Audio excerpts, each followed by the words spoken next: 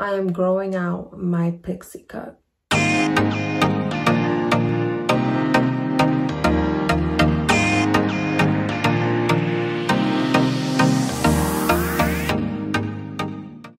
Hey, hey, hey, welcome back to my channel. My name is Ginelle Nere. Make sure that you guys subscribed if you haven't already.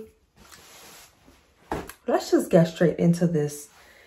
So I have officially combed out my curls. Okay, I've combed it out. Let me give you guys a 360.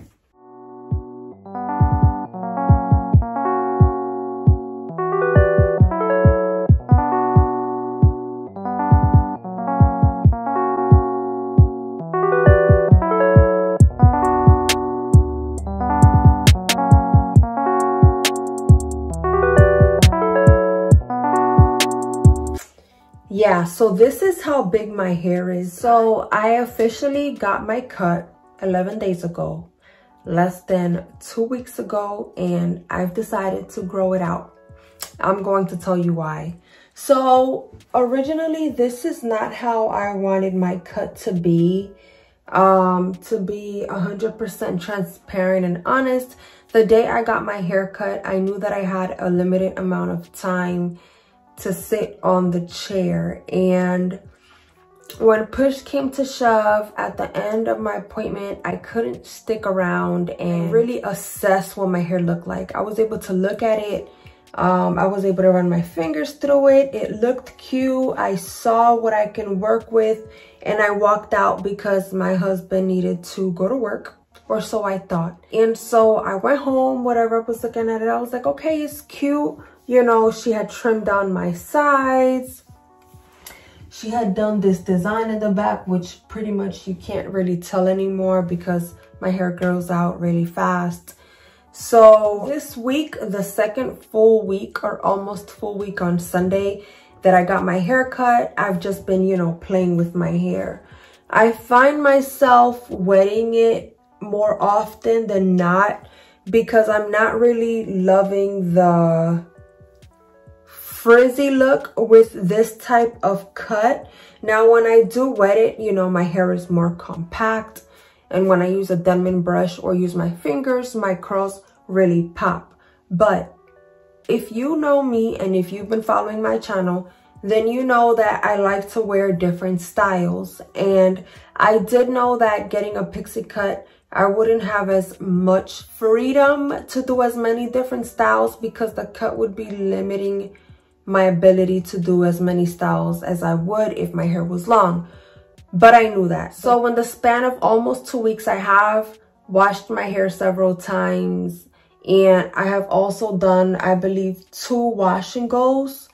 And so far, I'm just not really loving the way the cut looks. Don't get me wrong. My favorite part about this cut is the fact that I can run my fingers through my hair. It is not super tangled. It feels amazing. It feels soft. I, I can just literally just, you know, just go like this and it just feels amazing. Um, styling my hair is super quick. I can define it without a problem. Um, however, once it starts getting frizzy, I just don't like that. So um i'm going to grow this out. I'm growing out my undercut. As much as i said i would keep it for two years honestly i really do not like my undercut with this cut. Now like i said originally this is not the type of cut i wanted. I wanted more length in the back. And then i guess i also have like a unrealistic thought process in my mind because now i did have a lot of curly ones this one specific curly one that i fell in love with but again, because my sides were shaved and because the back was cut too short, my curls weren't able to curl the way I wanted it to curl. I mean, I'm not blaming the stylist. I gave her my vision and then I also told her to, you know, get creative and let her do her thing. But when it came to push down to shove, the second week of having this cut, I'm just not in love with the shape of it. I don't regret cutting it all off And I mean, I also explored the fact that I would have my hair undefined like this, but I can wear it out like this, but I don't like it. So what I'm going to start doing is just trying to play with different styles and see what I can achieve. Some days I really like it, like when I come off straight out the shower and I curl it, it's like, oh, you sexy babe. And for me, I don't like being limited. I mean, I wanted enough length so that I can do twists, twist outs, flexi rods even, you know, long enough so that I can curl it and all that. But honestly, I'm not inspired to do any of those styles.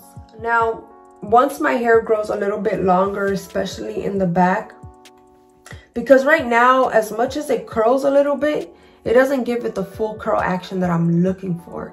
Now, I don't want it to be too long, but I want it to be long enough that I can like pass the Denman brush and my hair curls. Because if you've seen my previous wash and goes, then you see that this curl right here, these, this bunch is different from the sides that are very, very short and also the back. So I just wanted to come on here and just share with you guys, you know, me growing out my cut and the reasons why I wanted to grow it out. If you can relate, leave me a comment. Let me know down below. Make sure to subscribe to my channel. Make sure to hit the bell so that you never miss a notification when I upload a new video. But I also wanted to squeeze in a little length check. So as of right now, 11 days later, okay, I will insert a picture of what my hair looked like when it was fresh. But my undercut is already growing out. As you can see, the design that I have has grown out. Okay. So this part is short. It doesn't go anywhere. It's short.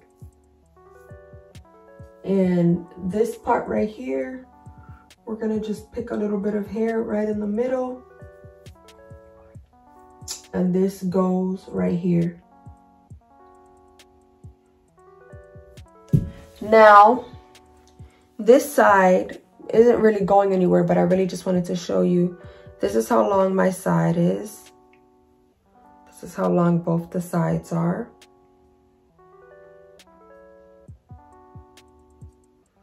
This is how long the front is.